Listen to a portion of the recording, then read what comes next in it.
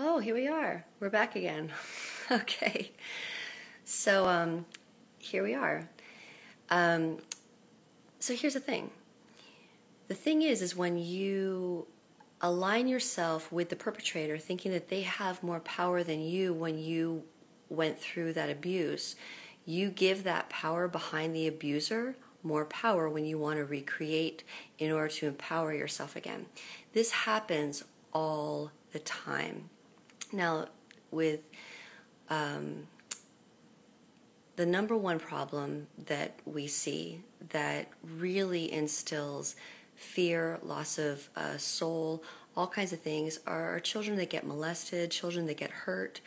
Um, it, it really hits them on a very deep soul level because what is soul? Soul is your innate energy. That is why they feel they have lost something on a very deep level. There's a reason for that. And so in and they see the perpetrator as the powerful one.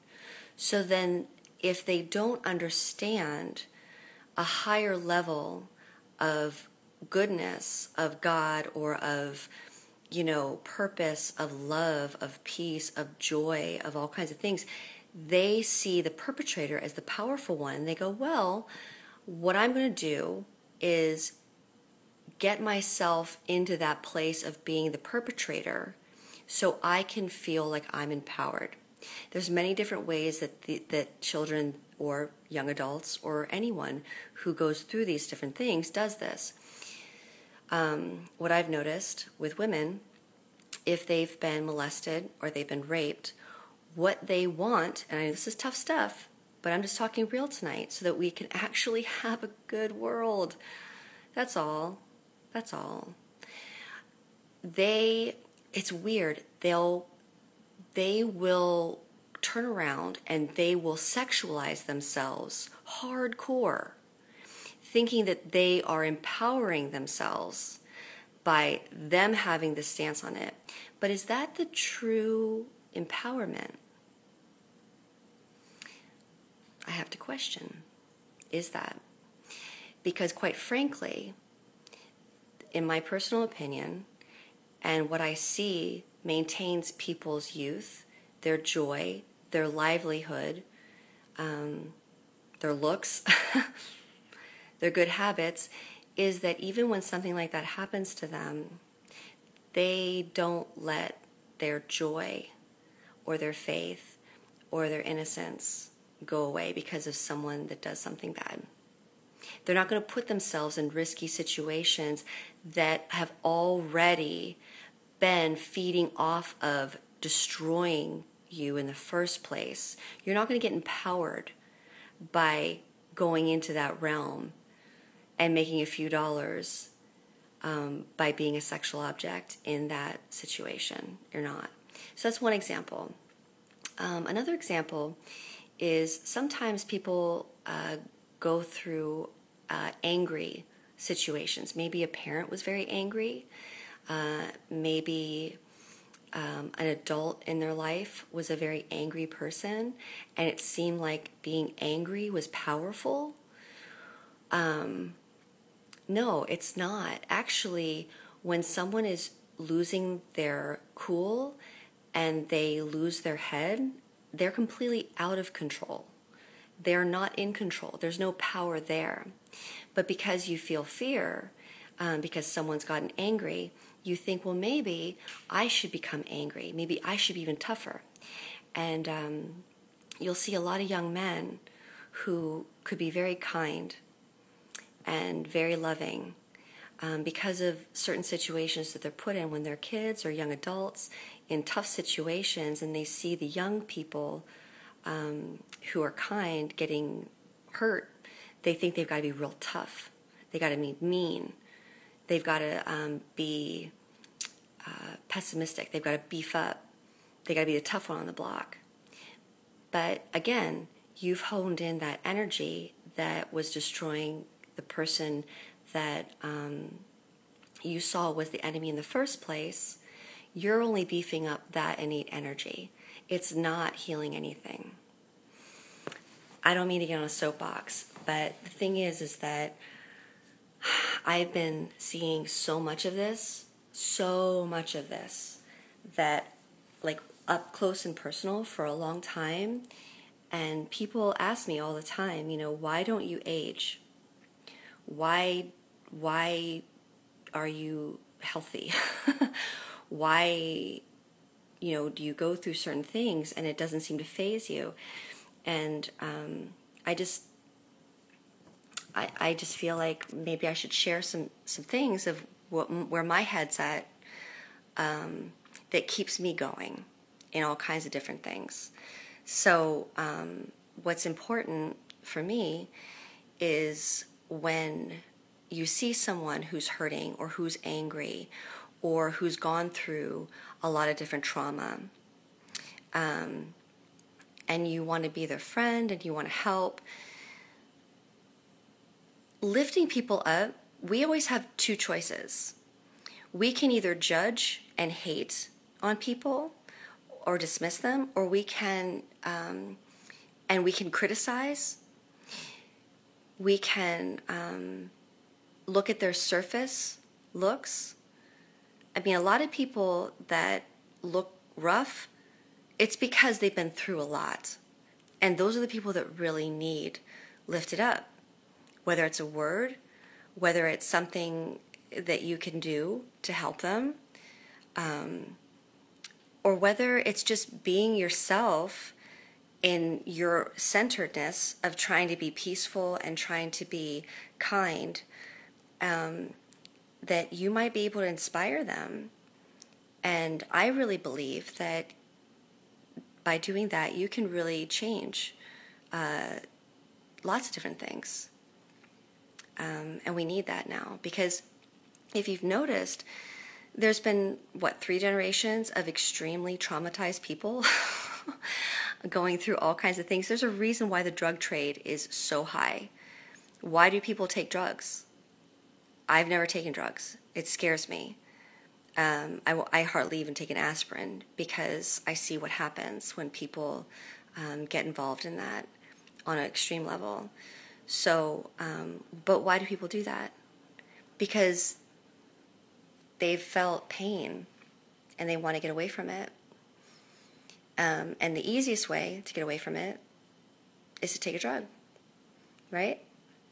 But the thing is, is the drug does not stop the source of what's going on, and it doesn't allow you that accountability to say, "Hey, you know what? I can choose for myself what I want to do with my energy post whatever thing I went through. And I can hone in with hopefully uh, people that are around me that can inspire me of what love is. Because here's the thing, too there are people in the world that um, were taught that hate is love, everything's the opposite. So they have a really hard time understanding um, what really love or what really kindness is. They don't even believe it. And it's funny because in my world, um, sometimes I'll meet some people and they'll say, You're too optimistic. Really? Um, because there's such a pessimism in the world. Um, but I, I really do try to believe in other people, even even if they've gone through a bunch of stuff. I I believe in them, you know, to a point, until it, it gets to the point where they you realize that you might be in a dangerous situation, and you know you have to just kind of pull back. But um, this is the thing with the cycle of abuse, and it's important to um, understand that when people get hurt, unfortunately, they feel like they've lost something. And instead of being inspired by those that are put as a blessing into their world to know what kindness or love is, they um, want to hurt it because they're hurting. Um, but if we could just turn that around and be inspired by those that are trying to show you what care is um, and not try to tear them down, that'd be a good thing. Because that tends to be the issue with abuse. Um, once someone gets tapped into that, they have a hard time um, wanting to see something better. Because something tells them that they don't, that because they were hurt by that, they can't get there again. And I don't think that's true. I know that that's not true. So there's that. Um, the last thing that I just want to talk about real quick, um, hopefully you'll understand what I'm talking about. We blame the victim rather than holding the person that did the wrong accountable. That is systematic. I saw that when I was a kid with uh, young girls that I knew that got abused, that um, everyone called them all kinds of terrible names rather than the people that hurt them. So if we could maybe change that uh, habit and focus more on the people that do the wrong rather than blaming the victim, that'd be kind of good. That'd be kind of nice. Lastly, um, no matter who you tune into, as far as your news goes or whatnot, um, I hope that you're noticing that a lot of really bad people have been getting arrested lately.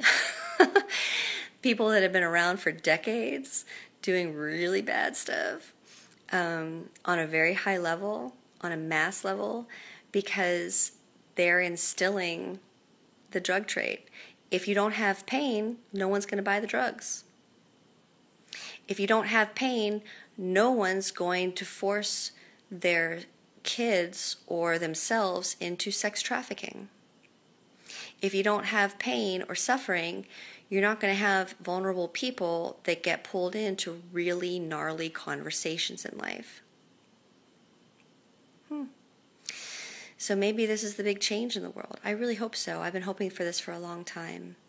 And um, I want to leave it on a good note that um, things are changing, whether you want to notice it or not.